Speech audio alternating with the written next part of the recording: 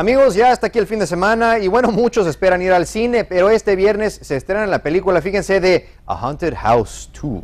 Tras perder a su novia poseída Kisha en un accidente de coche, Malcolm se enamora de Megan, una madre soltera de dos hijos. Después de irse a vivir juntos, Malcolm descubrirá que comienzan a producirse extraños fenómenos en el hogar y que parecen tener relación con los dos pequeños. Para complicar más las cosas, su exnovia Kisha regresa de la tumba y se muda a vivir a la casa de enfrente. Y no hay nada más temible que una exnovia fallecida y pues ahí con malos sentimientos, ¿verdad? ¿Qué, qué le vamos a poner? Y bueno, fíjense que otra opción es 13 Sins. Un hombre agobiado con deudas recibe una misteriosa llamada que le anuncia de su participación en un programa de cámara oculta y que ganaría una fortuna si termina las 13 tareas en que le plantean. El hombre acepta el desafío y se enfrenta a unas tareas que se complican a medida de que las va completando. 13 Sins se llama esa. Y fíjense que Despierta San Diego los quiere llevar al preestreno de Brick Mansions, película dirigida por Camille Delamar, con la que hace su debut como director cinematográfico tras haber dirigido el cortometraje Last Call en 2013 y el documental, eh, un documental en 2004. El filme cuenta cómo la historia de un policía secreto eh, que sin que le descubran intenta acabar con un despiadado señor del crimen. Dicho criminal resulta tremendamente peligroso ya que tiene acceso a una, una bomba destructiva de neutrones.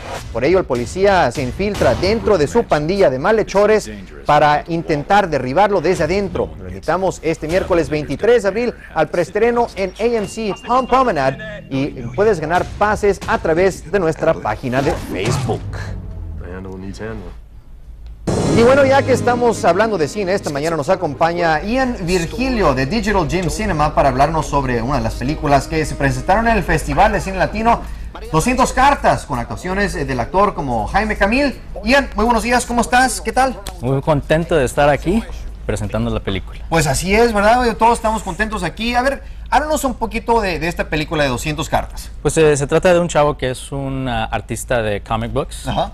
Em, y se enamora de una chava en Nueva York, Dayanara Torres, súper guapa, nos visitó en el festival, estuvo padrísimo, súper persona.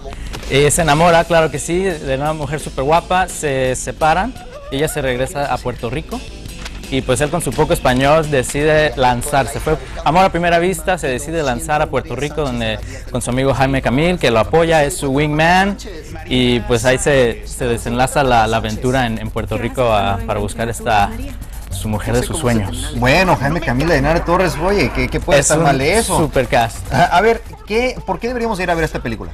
Pues diviértanse, para, para divertirse. Están muy buenas las películas ahorita, una de terror, una de acción y pues una comedia latina, bien hecha. Em, en Puerto Rico tiene unos paisajes impresionantes. Y bueno, empieza hoy.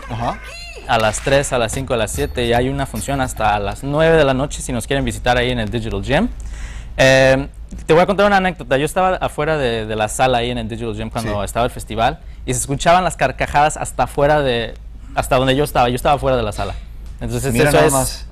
¿Qué más puedo decirles? O sea que es un éxito de película que queríamos ir a ver. Ahora, y esto va a ser en el Digital Gym. Eh, ¿Qué más hay en el Digital Gym para aquellas personas que todavía no han ido y que no conocen? Para, si quieren aprender de cine, de atrás de las cámaras, enfrente de las cámaras, les vuelvo a repetir que pues vayan ahí. Tenemos clases que están muy accesibles eh, hay clases one-on-one, si quieres eh, entrar con, una, con un instructor, y hay clases en grupo, hay clases para Photoshop, para entrar a la computadora, Em, edición y todo lo que es diseño gráfico y, para hacer películas. Entonces podemos eh, no solo aprender cómo hacer películas, sino que a lo mejor ver las películas, analizar las películas y hacer nuestros propios, eh, pues todo, largometraje, cortometraje, lo que sea. Y para el año que viene las pueden mandar al Festival de Cine Latino y pueden ver sus cortos ahí tal vez. Mira nada más, mucha información, siempre muy buena. Ian, muchas gracias por acompañarnos.